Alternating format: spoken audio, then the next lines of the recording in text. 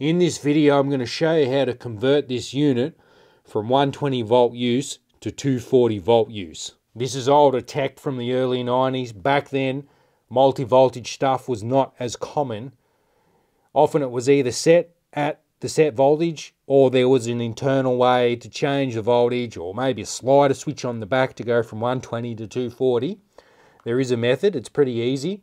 You don't need any tools except a Phillips head screwdriver. Reasons why we would want to change the unit to 240 volts is because we no longer have to use a step down like we've got in front of us. This is going to take up extra room, more cables, and there's always the chance that you take your device somewhere else and set it up and forget that it needs a step down transformer and then you plug 240 into it when it's not ready for it, bang, you'll blow a fuse at the very least, most likely. The labels on the side further showing that the input voltage is AC 120 volts. Again, it is a USA model. It is necessary to take the case off to make the voltage change. However, you do not need to remove any of the cards from the back, including the input voltage area. That does not need to be disassembled or removed at all. Firstly, if your unit has rack mount ears on the sides of the unit, they need to be removed. In this case, two Phillips screws are holding the ears in.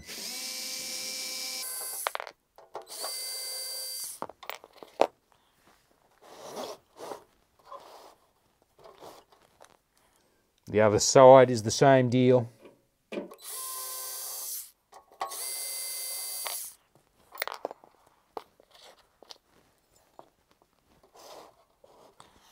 There are a remaining four screws to get the case off, two on each side of the unit.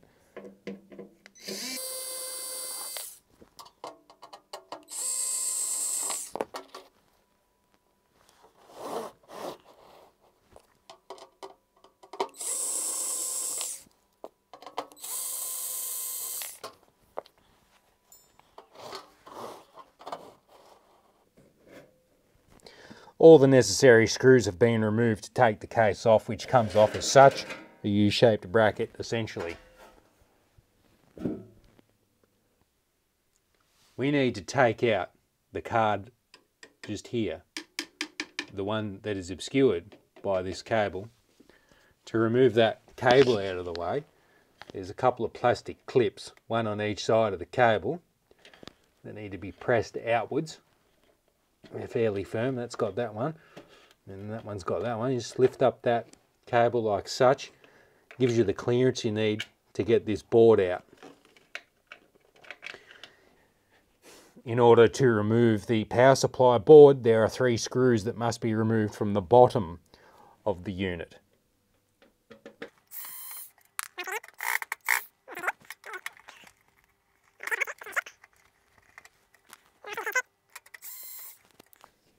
That will free the card up to a degree so you're able to pull it out.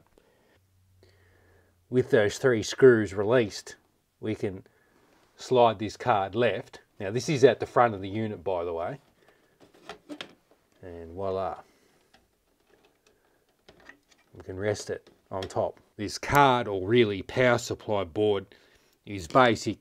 Here's your mains voltage in the white and the brown wires in this plug where I'm touching with my left hand. That's the input voltage. The other plug is the output voltage.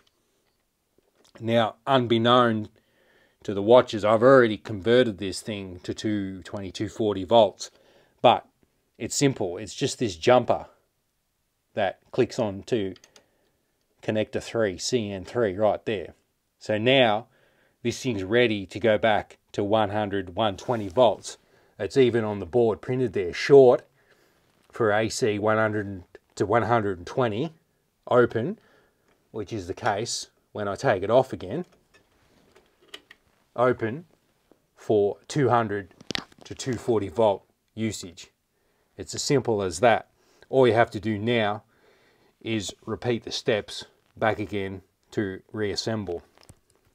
We can start the reassembly by sliding the card back in, you can actually see on this board or power supply there, there's your specs on there that it does have that 200 to 240 volt range that we need here in Australia.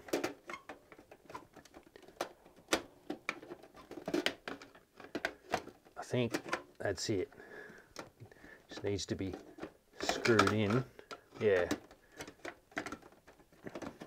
Screwed in to be firm. Put those connectors back on. Good. We're ready to plug in. There's our power lead, power on, click, click. Again, we'll turn on, get the click, click. There we go. No bangs, no fuses blown. We can see the standby light is illuminated and then we can turn it on with the green and we see our ones lit up, our twos lit up. We're all good to go. We've got 220, 240. We've got Australian mains power running in here. We no need to use the step down anymore.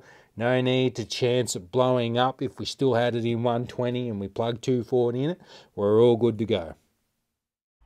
Once you've got the power changed over to suit your country's mains, then you can proceed to use the device. Here I've got a few consoles hooked up, PlayStation 2 in S-Video right now, and then on the next one is a Saturn in S-Video.